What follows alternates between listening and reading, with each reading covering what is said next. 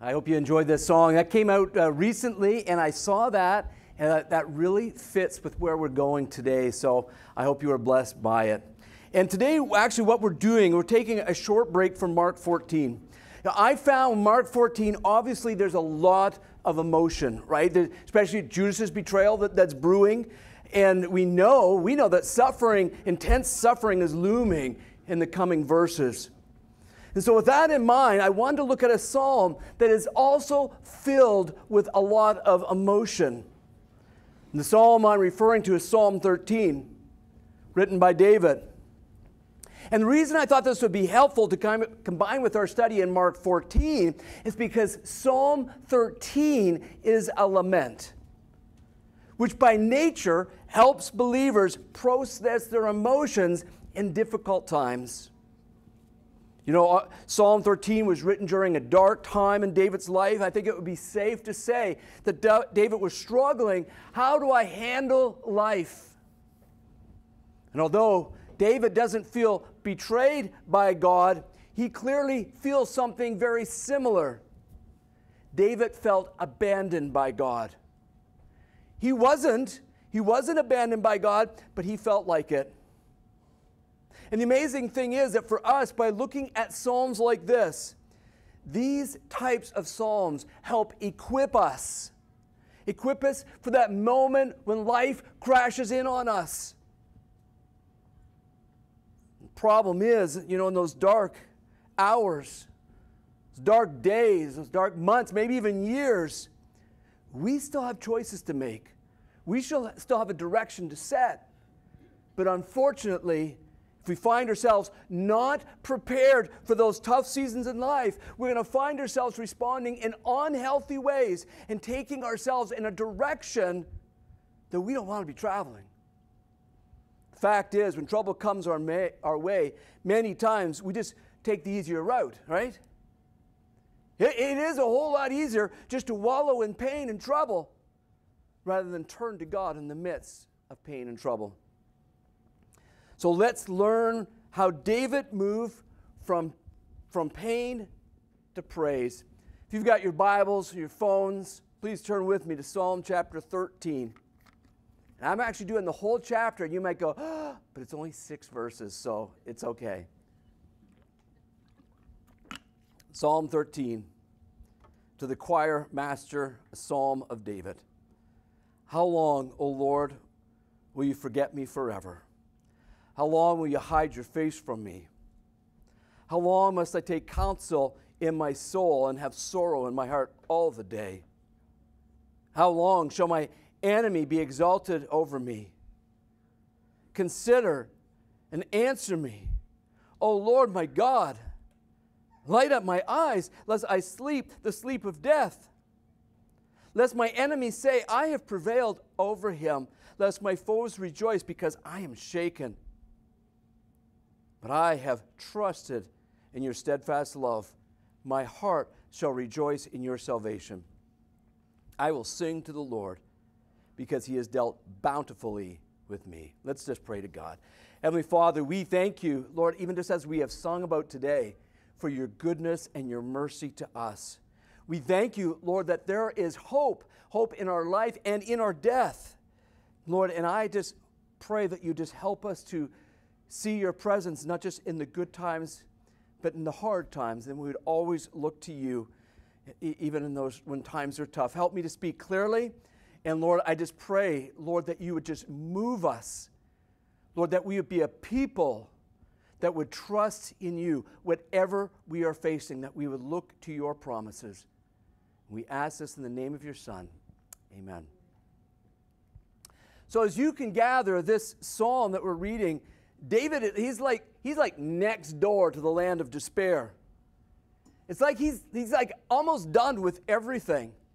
Now, it's worth mentioning that in Psalm 12, the psalm previous, David feels alone because he feels, you know, all the faithful people, they're gone. I, I don't, ha- I don't have anyone. And if not having a trusted person to turn to is bad enough, here now in Psalm 13, David now feels abandoned by God prompts him to write this lament. Now, you might be asking, okay, Sean, what is a lament? Well, by definition, a lament is a passionate expression of grief or sorrow. Or, could say it another way, it is what we say when we feel totally hurt, betrayed, scared. In the words Mark, of Mark Vroegop, which I think is up on the screen in his book Dark Clouds and Deep Mercy, a biblical lament is how we bring our sorrows to God. And then he added, Lament is how you live between the poles of a hard life and trusting God's goodness. Very simply, a lament is what we say to God when a friend betrays us. It's what we say to God when a spouse leaves us, or that family member that we love so dearly passes away. Lament is what we say to God when we walk out of that doctor's office being told that we have cancer. Lament is what we say to God when we're down, when we're hurt, we don't know where to turn. Lament is a prayer to God when life just is not making sense to us. Now, as we look at Psalm 13, we notice that the Psalms actually starts off with a series of questions. Uh, and these questions are directed to the right place, but they have a very desperate tone. I don't know if you saw that or not. Verse 1 How long, O Lord, will you forget me forever? How long will you hide your face from me? That phrase, how long, it's just like off the page, right? It's happening like four times. David's telling us, hey, this just isn't a bad day. This is not just a painful week. This, this is a, a really rough season of life. The questions that Dave, David is asking, they're not questions that, let me gather some more data type questions. No, he's trying to express the feeling that I can't take it any longer. David feels that God has forgotten him forever and that God has hidden his face from him. Have you ever experienced the feeling of abandonment from God?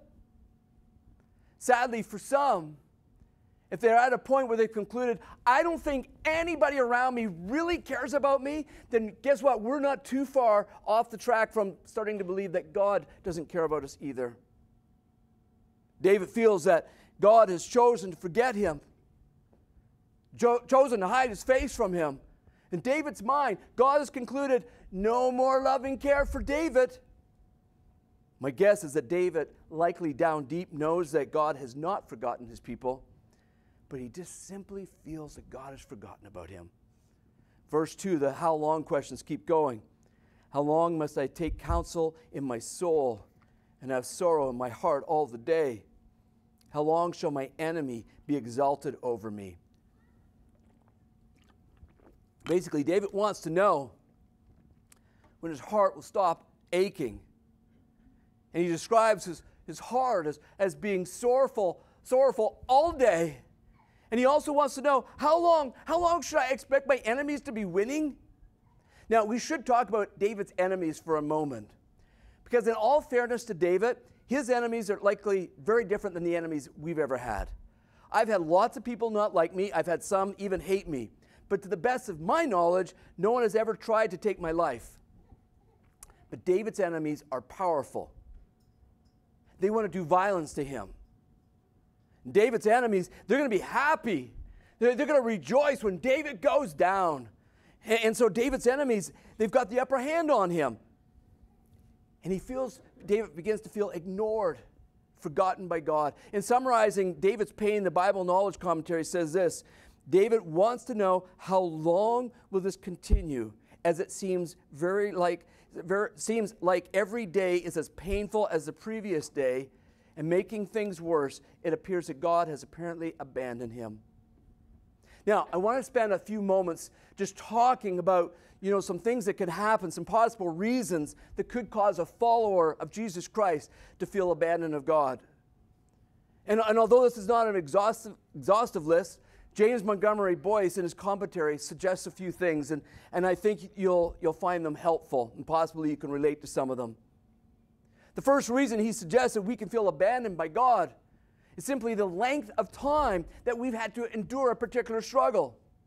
Short term pain is one thing, but when we're asked, we've asked God to intervene, but he seems silent on a particular issue, over time, we may assume that God is not responding to our requests because He does not really care about us. A second reason that we may feel that causes us to feel abandoned by God is that we sense that we've lost a blessing. We've lost the blessings of God that we had earlier in our lives. When David asks, How long, God, will you hide your face from me? That implies something. That implies that there was a time when God's face was shining on him. But now it's like this blessing seems to have disappeared. And that same feeling can happen to us. For example, let's say in your married life, you felt God's blessing, right? But now, ah, everything just seems so stressed. There's conflict all the time. And you ask, where is God in all of that? Or maybe a once really happy family situation has been replaced by rebellious kids who no longer even believe that God exists. And we wonder, has God forgotten our family? Apply that same school of thought to, to our work. Possibly we had success in the early years. Now we're tr- having trouble keeping up. Maybe the company is struggling. Pastors can experience this too, right? Church experiences a, a time of growth and then it's replaced by a difficult time, time with, marred with conflict. And we ask, has God left the building, so to speak? Here's the issue it's not if things will go wrong in our life, it is a question of when they will go wrong. And it is in those times it is in those hard times there is tem- this temptation to believe that God has forgotten about us. And that is where David is at. And the amazing thing is about God's word, it, it not only confronts us, it brings us hope. Hope because he gives us a way out. So take hope because in the next verses, we're going to see this incredible pattern that's going to help us to find a way out from the pain. In the middle of this psalm, in verses 3 and 4, I don't know if you noticed it, but there's like a tone change. Because now, instead of David lamenting, now we see David, oh, he's beginning to communicate to God. And it's interesting because in these verses, David actually doesn't ask God to remove the pain. He rather, he just simply wants to talk to God about the pain. Verse 3 Consider and answer me, O Lord my God. Light up my eyes, lest I sleep the sleep of death. I mentioned Mark Vroegop's book, Dark Clouds and Deep Mercy, uh, already. But I have to admit, this book really helped me understanding how David processes pain. And one warning that he gave, I want to pass on to you. Because he says many people never reach this turning point in their lives. David was down and out, right? And then verse 3, things started to change. But the problem is that for many people, we don't have a verse 3. It's like we get stuck. We find ourselves complaining. And complaining is not only sinful, complaining hurts us. One of the ways that complaining hurts us is that we develop this resistance to talk to God about our struggles. Oh, yeah, we might pick up the phone and talk to someone about our, our struggles, or we might rant on social media, but we don't take our concerns to God. Why is that? Why do we complain, but then we're resistant to talk to God? About anything. On the website Got Questions, it said this about complaining. A complaining spirit reveals a lack of trust in God. You see, trust in God is really what helped David turn this corner. Because at this midway point in the psalm, sure, David's still hurting, right? But he is choosing to trust. Did you notice the way that he addressed God in, in, in those verses? O Lord, my God the names that he uses are, are pretty significant. Lord, all capitals in, in our version, that is Yahweh, right? It's the covenant keeping eternal God. And the word God that he uses there is Elohim. It's referring to God's power and his strength. And notice what he's asking for. He's asking for light in his eyes. Seems like kind of an odd request, but really what he's wanting is he, he just wants to better be able to see the situation. And note that it seems fairly apparent that in his pain, it is being caused by his enemies. He's asking God to stop his enemies from prevailing against him. Verse 4 Lest my enemies say, I have prevailed over him. Lest my foes rejoice because I am shaken. You know, obviously, prevailing over David is something that his enemies are seeking, right? They're working pretty hard to achieve this. And it looks like they're actually kind of in party mode because they've been able to shake him. And what is significant here is that David is now calling on God to rescue him from his situation. It, it, it, if, if I could think of one word to describe that got David to this turning point, it would be the word trust. And hang on to that word, that's going to be significant for us. And this is what you need to know about trusting God. And that is, trust is a continual thing. It's not as if we pray one prayer and we never have to trust again. It doesn't work that way, especially when life goes sideways. Vroegop said, It's not that simple. Grief is not that tame. You know, one of the purposes of laments like Psalm 13 is they, they lead us somewhere. They lead us to trusting in God. And in this simple moment of trust, we, we now see it paying great dividends, right? Because David's decision to trust in these dark times, oh, it's changing everything for him. Earlier, we saw David exaggerating his sorrows, right? Claiming, oh, God has abandoned me which was not true. Sure, he's talking to God, but now the difference is he's, he's willing to listen to God. Look at verse 5. But I have trusted in your steadfast love. My heart shall rejoice in your salvation. But I have trusted. And now, instead of David wallowing in his pain, he is choosing to trust. And his trust isn't some positive type thinking statement. His trust is based on the character of God. And at this point, I need to make a plug for followers of Jesus reading God's word every day. Do you do that? Do you daily read the Bible for yourself? Because here's the thing how can you trust in the character of God if you're not spending time in His Word learning about His character?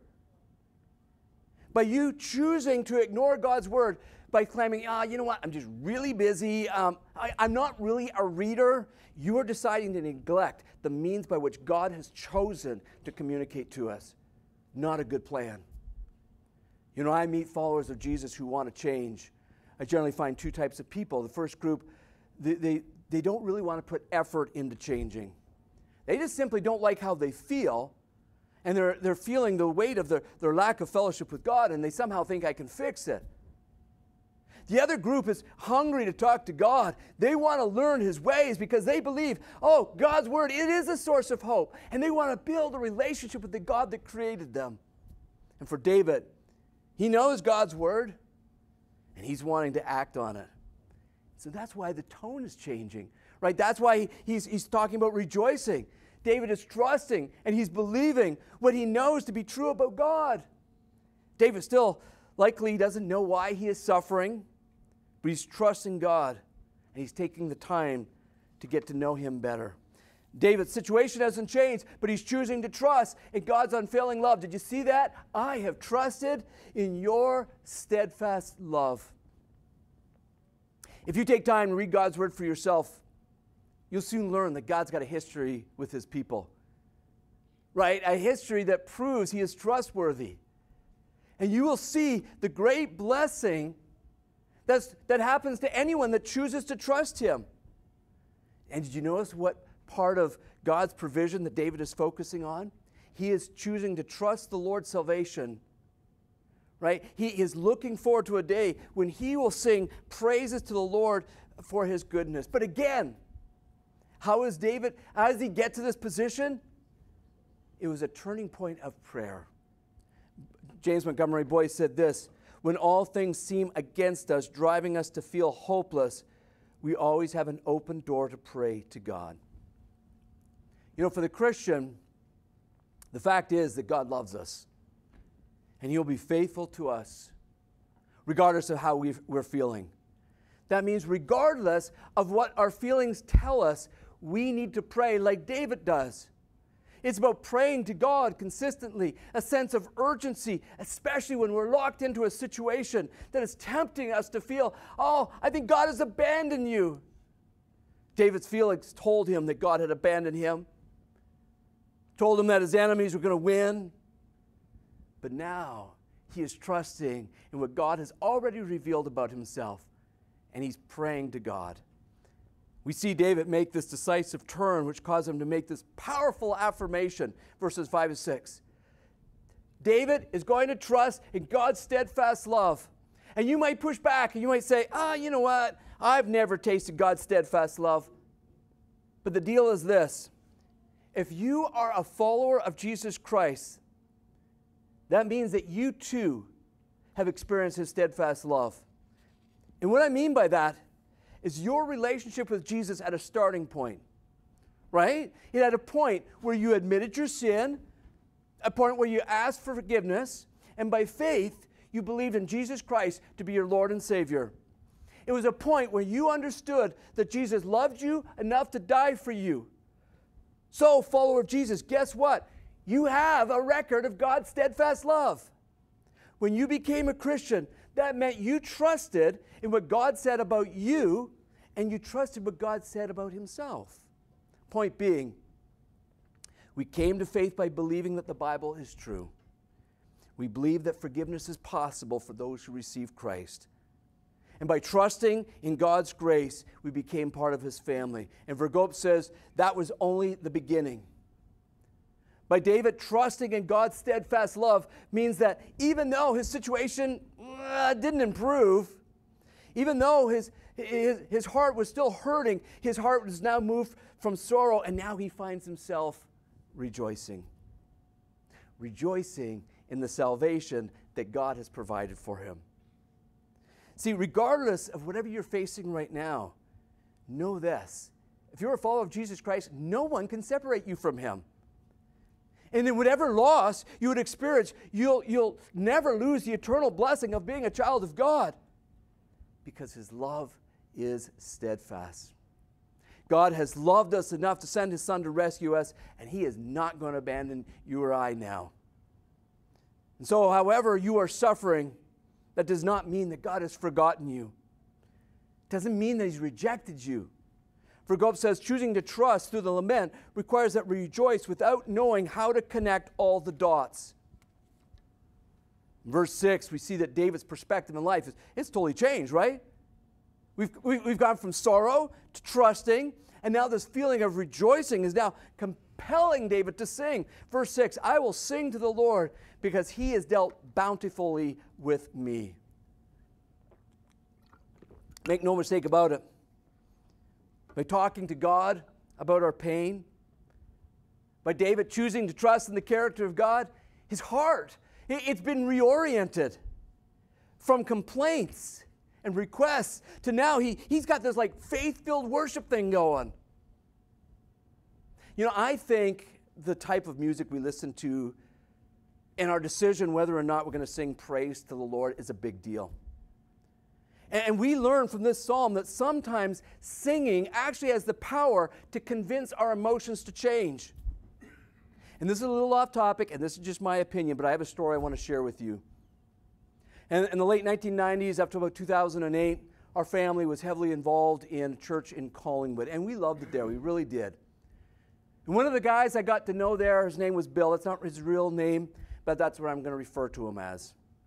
Bill, I think, was probably about 10 years younger than me, married, had kids, good job, super fun guy to be with. He's just one of those guys you just liked hanging out with. Well, a few years after we moved away, we heard that Bill had taken a drive out into the country with a shotgun and ended his life. And I don't know all the details, but for some weird reason, I often wondered what music Bill would have been focusing on in that final trip. I doubt very much that Bill, when he took that last ride, was listening to praise music about Jesus. And I'm not sure why my mind thought that soon after I heard about his death. And I honestly, I don't know what was on his playlist. All I'm saying is this we are a broken people, and we are trying to do life in a very broken world. And life is tough enough. And we know that already that we're prone to struggle. Right? So, why would we allow garbage in our lives? We need to be so careful what we allow into our lives. You know, I think we need to ask some hard questions of ourselves if we neglect worshiping God with our voices when He so clearly has displayed His steadfast love to us. The Lord has dealt bountifully with David. And if you're a follower of Jesus Christ, He's been bountiful to you. Vroegop says, Lament is how you live between the hard life and God's promises. It is how you learn to sing and worship when suffering comes our way. You know, however you feel about the psalm, you have to appreciate the honesty to which David shared in this psalm. Let, us be honest. You wouldn't be surprised to hear someone like talk like this who's not a follower of Jesus Christ, right? But if a follower of Jesus Christ came up to you and told you, you they, felt, they felt abandoned by God, you'd think, ah, you know, that'd be like unthinkable. But here in Psalm 13, we find David talking about it. And it's important for us to know that without a doubt, David loved God. Right? In Psalm or 1 Samuel 13, David, he, we can see he's used powerfully by God. He's referred to as, uh, as a man after God's own heart. Yet this, this psalm records a time when David felt totally abandoned by God. We have hope. David shows us that. In the span of six verses, life went from total turmoil to singing praises to God.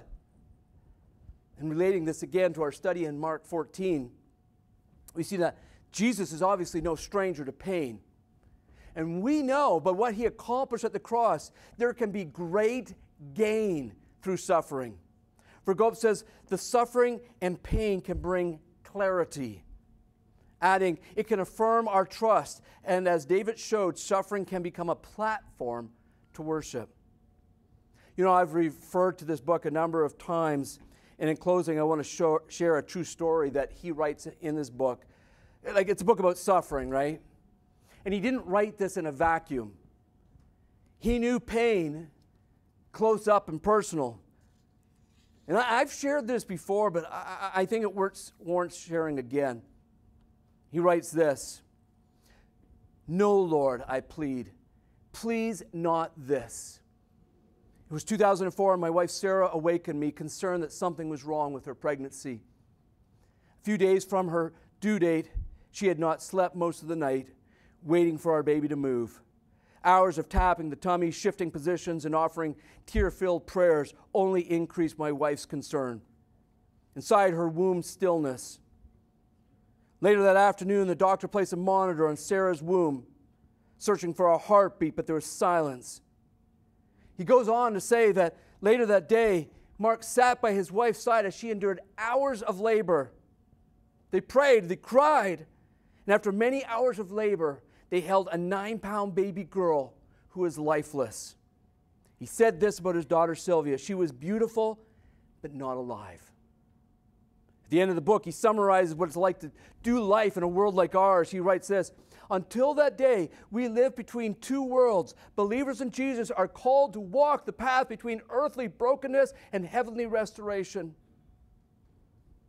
And I don't know what story you have, I don't know what loss you've experienced or are experiencing. I can tell you this, though God is okay to hear about your doubts, He's okay to hear about your fears. And He may not answer the prayers the way you want, but He has provided a pathway for you. And this pathway is called trust. God's not calling us to grit it out. He's not calling us to trust in our own strength. He has called us to trust in Him. When John Piper heard about the Vroegop's loss, he said this He said, Keep trusting the one who keeps you trusting. You know, one final thing I, I want to share with you today, and I don't know if you noticed this or not. You should have this slip of paper on there. And we have a box and we have pens over by the coffee. But I'm going to ask you to do something. You don't have to, obviously, I can't make you do it. But on it just simply says, I choose to trust Jesus Christ with. What is the with for you? I am asking you to make a choice. I am asking you to make a choice. That there's a young crowd here, right? You, you got a, a lifetime ahead of you. I am asking you to trust Jesus Christ with something, the significant part of your life. What is it that He's calling you to trust Him? You know what it is. And if you want, you can put it in that box. You don't have to put your name on it. You can. I will be taking these home. I'll be praying through these this week. Because I want to be a part of a church that trusts in Jesus Christ, whatever God would take us through. I'm going to ask Pastor Nathan if he'd come up at this time.